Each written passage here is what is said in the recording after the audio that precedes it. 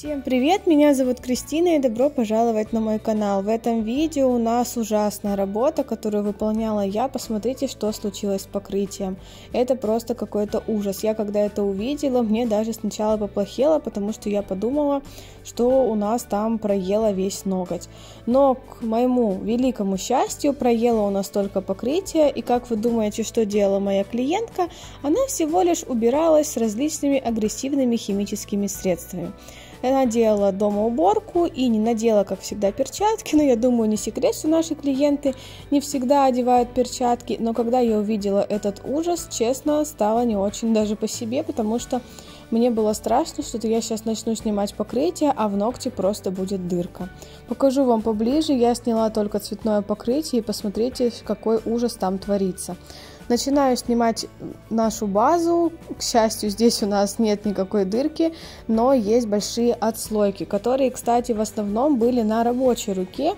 На нерабочей, на левой руке были, но не в таком количестве.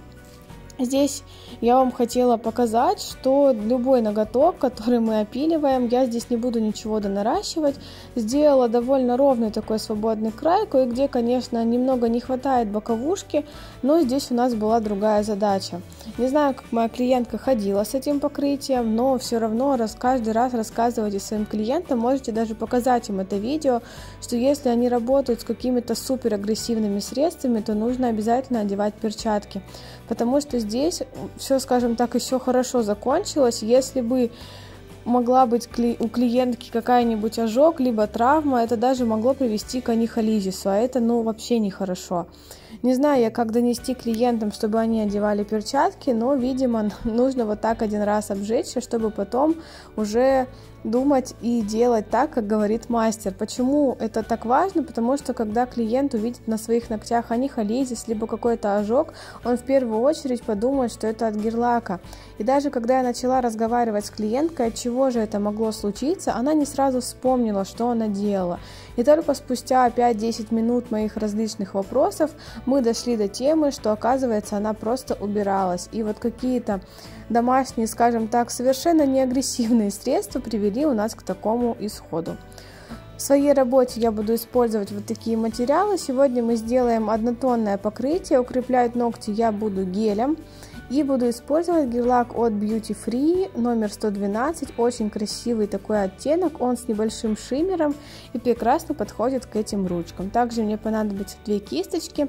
И укрепление я в этот раз буду делать гелем, чтобы ногти стали у нас потверже и никак не гнулись.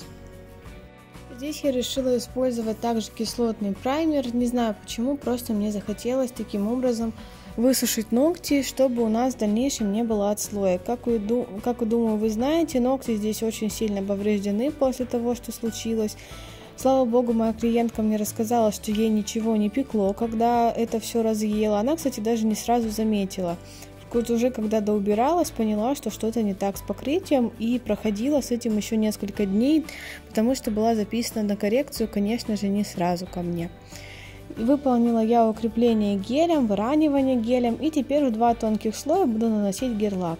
Очень красивый оттенок, в нем очень деликатный шиммер, который прекрасно подойдет, в общем-то, к любому однотонному покрытию. У меня есть еще такой же герлак, только синего глубокого цвета. И могу сказать, что эти цвета очень часто выбирают клиенты. Многие любят, чтобы было какое-то деликатное мерцание. Даже если это обычное однотонное покрытие, все равно хочется, чтобы что-то где-то блестело. Это, кстати, очень часто любят наши клиенты. Покрываю ноготочки топом с небольшим выравниванием. Топ у меня здесь от ТНЛ без липкого слоя глянцевый. Вот такой результат у нас в итоге получился. Обязательно подписывайтесь на мою группу ВКонтакте. Там появляется самая актуальная информация о тех видео, которые не выходят здесь, а выходят на Яндекс.Дзене. Пока-пока!